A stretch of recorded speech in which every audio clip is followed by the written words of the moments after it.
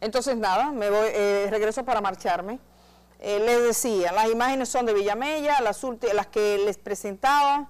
También estoy pendiente, hay varios lugares del país con muchos problemas en el conteo de los votos.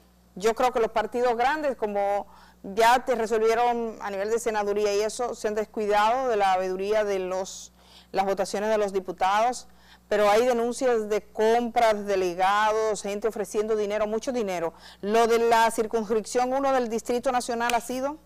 Bueno, miren los tweets que publicaba la senadora electa Faride Raful sobre el caso de Vázquez Peña, para que vean lo que ha pasado ahí. Ha sido impresionante. A mí me hablan de una presión de que no se pueden mover de ahí desde el domingo, que permanecen ahí ese tipo de, presiones hasta las horas de la madrugada, sin dormir, sin comer y ahí pendiente, como tuvo que estar el equipo de José Horacio para, para defender el voto. O sea, no puede ser que a última hora se tenga que tomar tanta lucha en un, en un escenario, un escrutinio democrático, porque hay gente que está comprando y vendiendo. Han dicho ya la Junta del Distrito que no va a presentar cargos contra el joven que firmó y admitió que había alterado actas.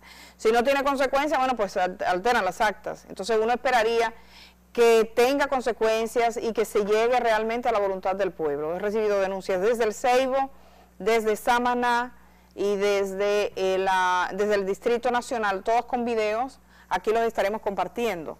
Eh, tengo que decir que Carolina Santana entrevistó a la, em, la esposa del señor eh, presidente electo de la República, Luis Abinader, la señora Raquel Arbaje, y mañana vamos a compartir, por supuesto, ese contenido también aquí en este programa. Así que hasta mañana tenemos más, estamos pendientes de eso y, por supuesto, de la ocupación hospitalaria. Yo les digo que por mis redes estaré comunicándoles sobre esto y diciéndoles que se cuiden y a los cabildos en sus respectivas jurisdicciones que tomen carta en lo que tienen que hacer, como también al Poder Ejecutivo, que todavía no ha cesado.